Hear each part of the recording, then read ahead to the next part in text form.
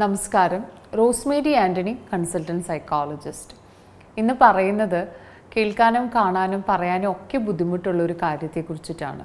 Childhood sexual abuse but we need to break the silence break the silence understanding and addressing childhood sexual abuse with empathy and support നമ്മൾ ലൈംഗികത അതിക്രമങ്ങളിൽ childhood sexual abuse പ്രത്യേകം പറയേണ്ടതും മനസ്സിലാക്കേണ്ടതും അത്യാവശ്യമാണ്. എങ്കിൽ നമ്മളത് മനസ്സിലാക്കിയെങ്കിൽ മാത്രമാണ് ഒരു കുട്ടിക്ക് അത് പറഞ്ഞു മനസ്സിലാക്കാൻ പറ്റുള്ളൂ. കുട്ടികൾക്ക് നേരെയുള്ള ഈ ഒരു അനുഭവം മനസ്സിലാക്കാനോ തടയാനോ അവർക്ക് സാധിച്ചെന്ന് വരില്ല. ചൈൽഡ്ഹുഡ് സെക്ഷൽ അബ്യൂസ് ഉണ്ടാക്കുന്ന ട്രോമ കാലങ്ങളോളം പിന്തുടരും. അതുകൊണ്ട് തന്നെ കുട്ടികളെ ഇത് പറഞ്ഞ് ബോധ്യവാന്മാരാക്കേണ്ടതും പല കാര്യങ്ങളും അവരെ ഡിസ്കസ് ചെയ്ത് ഏതെല്ലാം തരത്തിൽ നിന്ന് ഒരു കുട്ടിക്ക് അവനെ പ്രൊട്ടക്റ്റ് ചെയ്യേണ്ട കാര്യങ്ങളെക്കുറിച്ചിട്ടും മാതാപിതാക്കൾ അല്ലെങ്കിൽ ടീച്ചേഴ്സ് അല്ലെങ്കിൽ പ്രൈമറി കെയർ സപ്പോർട്ടേഴ്സ് പറഞ്ഞ് മനസ്സിലാക്കേണ്ടത് വളരെ ഇമ്പോർട്ടന്റ് ആയിട്ടുള്ള ഒരു കാര്യമാണ്. നമ്മുടെ കുട്ടികളെ സംരക്ഷിക്കുക എന്നുള്ളത് നമ്മുടെ ഒരു വല്ലാത്തൊരു ഉത്തരവാദിത്തമാണ്. അത് നമ്മൾ ഏറ്റവും ഭംഗിയായി ചെയ്യുക എന്നുള്ളതും നമ്മൾ നിക്ഷിപ്തമായിട്ടിരിക്കുന്ന ഒരു കർത്തവ്യമാണ് എന്ന് നമ്മൾ മനസ്സിലാക്കണം. അവരെ ഇങ്ങനെയുള്ള അനുഭവങ്ങളിൽ നിന്ന് സംരക്ഷിക്കാൻ നമുക്ക് കഴിയണം. ഇന്ത്യൻ റിപ്പോർട്ടുകൾ പറയുന്നത് ബാല്യത്തിലും കൗമാരത്തിലുമായി എഴുപത്താറ് ശതമാനം സെക്ഷൽ അബ്യൂസ് അല്ലെങ്കിൽ ലൈംഗിക അതിക്രമങ്ങൾ നടക്കുന്നുണ്ട് എന്നുള്ളതാണ്. അതിൽ നാൽപ്പത് ശതമാനം കുടുംബ കുടുംബാംഗങ്ങളിൽ നിന്നുമാണ്. അത് നമ്മുടെ അങ്കിൾമാരാവാം കസിൻസ് ആവാം അല്ലെങ്കിൽ കൂടുതലും ഇങ്ങനെയുള്ള സ്ഥാനങ്ങളിൽ നിന്നുള്ളവരുമാണ് എന്നുള്ളതാണ് പഠനങ്ങൾ സൂചിപ്പിക്കുന്നത്. പിന്നെ നമ്മുടെ നെയ്ബേഴ്സ് സുഹൃത്തുക്കൾ ടീച്ചേഴ്സ് പരിചയമില്ലാത്തവർ എങ്ങനെ വേണമെങ്കിലും കുട്ടികൾ സെക്ഷൽ അബ്യൂസിന് വിധേയരാക്കപ്പെടാറുണ്ട്. സോ ചുറ്റുമുള്ളവരെ ജനറലൈസ് ചെയ്ത് കാണേണ്ട കാണാനോ അല്ലെങ്കിൽ കാണേണ്ടതോ ഇല്ല. പക്ഷേ ഇങ്ങനെയുള്ള ആളുകളെ തിരിച്ചറിയാനും കുറേയും കൂടി കോഷ്യസ് ആവാനും കുട്ടികളെ കുറേയും കൂടി എംപവർ ആക്കാനും നമ്മൾക്ക് സാധിക്കണം. ഇങ്ങനെയുള്ള അല്ലെങ്കിൽ സെക്ഷൽ അബ്യൂസ് ചെയ്യുന്ന പല വ്യക്തികളിലും കണ്ടുവരുന്ന ചില കാര്യങ്ങൾ കാരണങ്ങൾ ഇവയെല്ലാമാണ്. ഒന്ന് അവരൊരു സെക്ഷൽ അഡിക്ഷന് ഉള്ള ഒരു വ്യക്തിയാവാം. ലൈംഗികത ആസക്തി കൂടിയവരാവാം ഇവർ. രണ്ട് ഡിസോർട്ടഡ് ബിലീവ്സ് സെക്സിനെ പറ്റി തെറ്റായ ധാരണകൾ കൊണ്ടു നടക്കുകയും അല്ലെങ്കിൽ സെക്സ് തെറ്റായ രീതിയിൽ സന്തോഷിക്കുന്ന ഒരു വ്യക്തിയാവാം. മൂന്ന് ലാക്ക് ഓഫ് എമ്പതി മറ്റൊരാളുടെ വേദന മനസ്സിലാക്കാൻ സാധിക്കാത്ത വ്യക്തി. നാല് lust and pleasure seeking tendencies ഒരു സുഖഭോഗി ആയിട്ടുള്ള ഒരു വ്യക്തിയാവാം.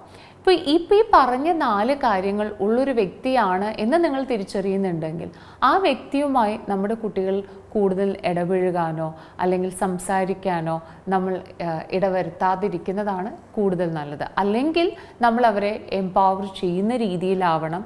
നമ്മൾ അത്രയും കുട്ടികൾക്കൊരു ട്രെയിനിങ് കൊടുക്കാൻ നമ്മളെ കൊണ്ട് സാധിക്കണം. ഈ ഞാൻ ഈ പറഞ്ഞ നാല് കാര്യങ്ങൾ സെക്ഷൽ അഡിക്ഷൻ അല്ലെങ്കിൽ ഒരു സെക്സിനെ പറ്റിയുള്ള ഒരു ഡിസോർട്ടഡ് ബിലീവ്സോ അല്ലെങ്കിൽ ലാക്ക് ഓഫ് എംപത്തി അല്ലെങ്കിൽ കണ്ടിന്യൂസ് ആയിട്ട് മാസ്റ്റുപേഷൻ ചെയ്യുന്ന അല്ലെങ്കിൽ മാസ്റ്റുപേഷൻ അഡിക്ഷൻ ആയിട്ടുള്ള ഒരു വ്യക്തിയാണ് നിങ്ങളെങ്കിൽ ഈ നാല് കാര്യങ്ങൾ ഉള്ളൊരു വ്യക്തിയാണ് നിങ്ങളെങ്കിൽ നിങ്ങൾക്ക് മനസ്സിലാവണം. നിങ്ങൾക്കൊരു നല്ലൊരു കൗൺസിലിങ്ങിന്റെ അല്ലെങ്കിൽ ഒരു പ്രൊഫഷണൽ ഹെൽപ്പിന്റെ ആവശ്യമുള്ള ഒരു വ്യക്തിയാണ് എന്ന് നിങ്ങൾ മനസ്സിലാക്കി ട്രീറ്റ്മെന്റ് എടുക്കേണ്ടത് വളരെ ഇമ്പോർട്ടന്റ് ആണ്. കുട്ടികളിരിക്കുമ്പോൾ കുട്ടികളെ കുറിച്ചിട്ടുള്ള കമൻസ് പറയുക അവരെ വേദനിപ്പിക്കുന്ന രീതിയിൽ ബിഹേവ് ചെയ്യുക ചില സെക്സ് ടോക്കുകൾ പറഞ്ഞ് അത് തമാശ രൂപത്തിൽ അവതരിപ്പിക്കുക അല്ലെങ്കിൽ സെക്സുമായി റിലേറ്റഡ് ആയിട്ടുള്ള വീഡിയോസ് കാണിക്കുക. ഇങ്ങനെയുള്ളവരെയും അവരുടെ സാഹചര്യങ്ങൾ മനസ്സിലാക്കി തീർച്ചയായും സഹായിക്കാൻ നമുക്കും സാധിക്കണം. പക്ഷെ ഒരു തെറ്റുണ്ടായിക്കഴിഞ്ഞാൽ അതിന്റെ നിയമപരമായ വശങ്ങൾ ബാധകം തന്നെയാണ്. അതോടൊപ്പം തന്നെ കുട്ടികളെ പറഞ്ഞ് മനസ്സിലാക്കേണ്ട ഒരു കാര്യം നമ്മുടെ ശരീരഭാഗങ്ങളെക്കുറിച്ചിട്ടും അതിന്റെ ഇമ്പോർട്ടൻസിനെ കുറിച്ചിട്ടും അതിനെ പറയുന്ന പേരുകളെക്കുറിച്ചിട്ടും നമ്മൾ കുട്ടികൾക്ക് പറഞ്ഞു കൊടുക്കണം. ഇനി കേട്ട ഒരു കേസിനെ കുറിച്ചിട്ട് പറയാം. കഴിഞ്ഞ ദിവസം നാൽപ്പത്തഞ്ച് വയസ്സായിട്ടുള്ള ഒരു വ്യക്തിയെ കാണാനിടയായി. ഏഴ് വയസ്സ് പ്രായമുള്ളപ്പോൾ അദ്ദേഹം നേരിട്ട ഒരു സെക്ഷൽ അബ്യൂസിനെ കുറിച്ചിട്ടാണ് പറഞ്ഞത്. അയൽപക്കത്ത് വീട്ടിലുള്ള ഒരു ബന്ധുവിൽ നിന്നാണ് ഈ ഒരു അനുഭവം ഉണ്ടായത്. ലൈംഗികമായി ഉപയോഗിച്ചതും ഒരു പുരുഷൻ തന്നെയായിരുന്നു. നാൽപ്പത്തഞ്ച് വയസ്സായിട്ടും അതിന്റെ ബാഗേജും അതിന്റെ കോൺസിക്വൻസസും അന്നു മുതൽ ശീലിച്ചു പോകുന്ന ചില ശീലങ്ങളെ കുറിച്ചിട്ടും ഹാബിറ്റ്സിനെ കുറിച്ചിട്ടുമാണ് ഈ നാൽപ്പത്തഞ്ച് വയസ്സുകാരൻ ഡിസ്കസ് ചെയ്തത്. നമ്മൾ ഇതിൽ നിന്ന് മനസ്സിലാക്കേണ്ടത് ചൈൽഡ്ഹുഡിൽ ചെറുപ്പപ്രായത്തിൽ നമുക്കുണ്ടാവുന്ന ചില സെക്ഷൽ ട്രോമ അല്ലെങ്കിൽ സെക്ഷൽ അബ്യൂസ് അത് ജീവിതത്തിലുടനീളം ഉണ്ടാവുമെന്നും ആ ട്രോമ ഹീൽ ചെയ്തില്ല എങ്കിൽ പലതരത്തിൽ നമ്മുടെ പേഴ്സണാലിറ്റി അത് ബാധിക്കാം എന്നുള്ളതുമാണ്. അതുമാത്രമല്ല ഇവിടെ സ്ത്രീകൾക്കും പുരുഷന്മാർക്കും ഒരുപോലെ ലൈംഗികത അതിക്രമങ്ങൾ നേരിടേണ്ടി വരുന്നുണ്ട് എന്ന് മനസ്സിലാക്കണം. പലപ്പോഴും നമ്മളെ മാതാപിതാക്കൾ ചെയ്യാറ് പെൺകുട്ടികൾക്ക് ഒരുപാട് കാര്യങ്ങൾ പറഞ്ഞു കൊടുക്കുകയും ആൺകുട്ടികൾക്ക് എങ്ങനെ വേണമെങ്കിലും പോവാം പുറത്തു പോവാം ചെയ്യാം എന്നുള്ളതുമാണ്. എന്നാൽ പുരുഷന്മാർക്കും ഇതുപോലെ സെക്ഷൽ അബ്യൂസ് നേരിടാറുണ്ട് എന്നുള്ളതും. അവരെയും ഒരു പെൺകുട്ടിയോട് എങ്ങനെ പറഞ്ഞു മനസ്സിലാക്കുന്നു അതുപോലെ തന്നെ ആൺകുട്ടികളോടും ഇത് പറഞ്ഞു മനസ്സിലാക്കേണ്ടത് വളരെ ഇമ്പോർട്ടന്റ് ആയിട്ടുള്ള ഒരു കാര്യമാണ്. സെക്ഷൽ അബ്യൂസിന് ഇരയാക്കപ്പെട്ട കുട്ടികൾ പലപ്പോഴും ഇത് തുറന്ന് പറയാത്തത് പേടികൊണ്ടിട്ടാണ് കാരണം സെക്ഷൽ അബ്യൂസ് ചെയ്ത വ്യക്തികൾ ഇതിനെപ്പറ്റി ആരെങ്കിലോടും പറഞ്ഞു കഴിഞ്ഞാൽ അവരുടെ മാതാപിതാക്കൾക്ക് കുട്ടികളോട് പറയുന്നത് അവരുടെ ഇപ്പോൾ ഫോർ എക്സാമ്പിൾ അമ്മയുടെ തലതിട്ട് തല പൊട്ടിത്തെറിച്ചു പോകും. ഇത് ആരെങ്കിലും പറഞ്ഞാൽ നിന്നെ ഞാൻ കൊന്നുകളയും സോ ലൈംഗികമായി ഉപയോഗിക്കുന്നവർ വളരെയധികം തന്ത്രശാലികളാണ്. കുട്ടികളെ മാനിപ്പുലേറ്റ് ചെയ്യുന്ന രീതിയിലും അല്ലെങ്കിൽ കുട്ടി കുട്ടികൾക്ക് ഒരു പേടി ഉളവാക്കുന്ന രീതിയിൽ കാര്യങ്ങൾ പറഞ്ഞ് മനസ്സിലാക്കി അവരെ കൊണ്ട് ഈ ഒരു രഹസ്യം മറ്റുള്ളവരെ കൊണ്ട് പറ വേറൊരു വ്യക്തിയിലേക്ക് എത്തിക്കാതിരിക്കാൻ അവർ അവർ ശ്രമിക്കും. അപ്പോൾ നമ്മൾ കുട്ടികളോട് പറഞ്ഞു കൊടുക്കേണ്ടത് ആര് എന്ത് പറയരുത് എന്ന് പറയുമ്പോൾ നമ്മൾ കുറേ കൂടി കോഷ്യസ് ആവണം. അതൊരു നല്ല കാര്യമല്ല. അതൊരു നല്ല ശീലമല്ല എന്നുള്ളതാണ് നമ്മൾ കുട്ടികൾക്ക് പറഞ്ഞു കൊടുക്കേണ്ടത്.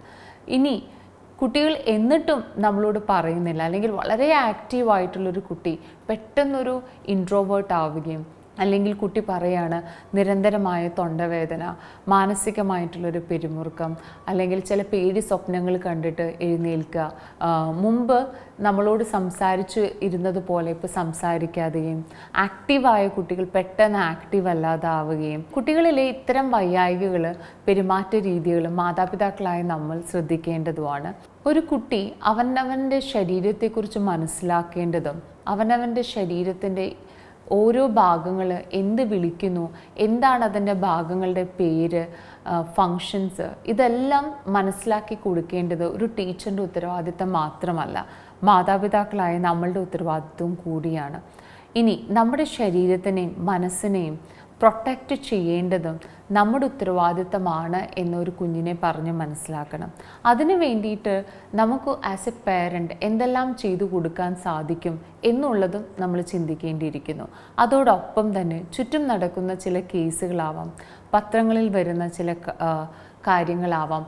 ഇതെല്ലാം കുട്ടികളോട് പറഞ്ഞ് ഡിസ്കസ് ചെയ്യുകയും ഇങ്ങനെയൊരു സാഹചര്യം നമുക്കുണ്ടാകുമ്പോൾ നമ്മൾ എങ്ങനെയാണ് ഇതിൽ നിന്ന് പ്രൊട്ടക്റ്റ് ചെയ്യേണ്ടത്? അല്ലെങ്കിൽ ഈ സാഹചര്യത്തിൽ നമ്മൾ എങ്ങനെയാണ് റെസ്പോണ്ട് ചെയ്യേണ്ടത് എന്ന് കുഞ്ഞിനെ പറഞ്ഞ് ബോധവാന്മാരാക്കേണ്ടതും ഇമ്പോർട്ടന്റ് ആയിട്ടുള്ളൊരു കാര്യമാണ്. ചൈൽഡ്ഹുഡ് സെക്ഷൽ അബ്യൂസ് എന്തെല്ലാം തരത്തിലുണ്ടാവാം? ഏതെല്ലാം വ്യക്തികളിൽ നിന്നുണ്ടാവാം? എന്ന് നമ്മൾ കുട്ടികളെ പറഞ്ഞു മനസ്സിലാക്കുകയും ഇൻ കേസ് അങ്ങനെയുള്ള ഒരു കാര്യങ്ങൾ ഉണ്ടായാൽ എങ്ങനെയാണ് അതിൽ നിന്ന് ഓവർകം ചെയ്യേണ്ടത്? എന്താണ് ആദ്യം എടുക്കേണ്ട സ്റ്റെപ്സ് എന്നുള്ളത് മാതാപിതാക്കളായ നമ്മൾ കുട്ടികൾക്ക് പറഞ്ഞു കൊടുക്കേണ്ടത് വളരെ ഇമ്പോർട്ടന്റ് ആയിട്ടുള്ളൊരു കാര്യമാണ്. നമ്മുടെ ശരീരത്തിനെയും മനസ്സിനെയും പ്രൊട്ടക്റ്റ് ചെയ്യാൻ കുട്ടികളെ പഠിപ്പിക്കേണ്ടത് കുട്ടികൾ പത്ത് വയസ്സോ അല്ലെങ്കിൽ പതിനെട്ട് വയസ്സാകുമ്പോൾ അല്ല. ഏറ്റവും ചെറു പ്രായത്തിൽ നിന്ന് തന്നെ നമ്മൾ കുട്ടികളെ പഠിപ്പിക്കേണ്ടതായിട്ടുണ്ട്. എല്ലാവർക്കും നന്ദി നമസ്കാരം.